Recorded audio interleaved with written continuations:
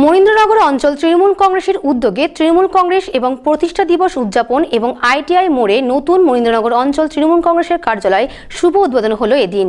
উপস্থিত ছিলেন বহরমপুর পূর্ব ব্লক সভাপতি আশিস সরকার, জেলা সম্পাদক সুবোধ দাস সহ বহু তৃণমূল কংগ্রেস নেতৃবৃন্দ। সারা ভারত তৃণমূল কংগ্রেসের প্রতিষ্ঠা দিবস। সেই প্রতিষ্ঠা দিবস উপলক্ষে অঞ্চল তৃণমূল কংগ্রেসের পক্ষ থেকে প্রতিষ্ঠা দিবস উদযাপন হলো। আর সুন্দরগরণী লোকনাথ মন্দিরের সম্মুখে এবং আজকে সেখানে আমরা থেকে আজকে পার্টি অফিস এখানে আমাদের পার্টি অফিস ছিল না। আজকে থেকে আমাদের এখানে স্থায়ী একটা party office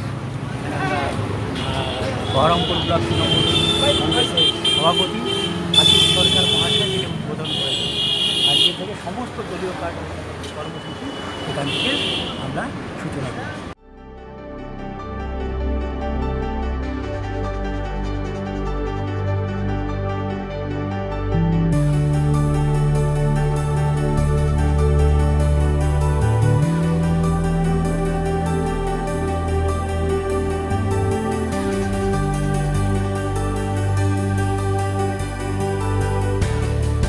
আমরা এখানে একটা ইনফার্টি সেন্টার খুলেছি। কমপ্লিট চিকিৎসা এখানে হবে।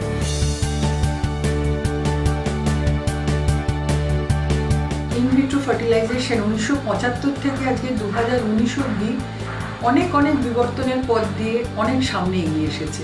বহরমপুরে আমরা যখন শুরু করি আইভিএফ ফেসিলিটিটা তখন আমরা এটাই মনে রেখেছিলাম যেন কোনো কারণেই এখান দিককার কোনো মানুষকে কলকাতায় দৌড়ে যেতে না হয়।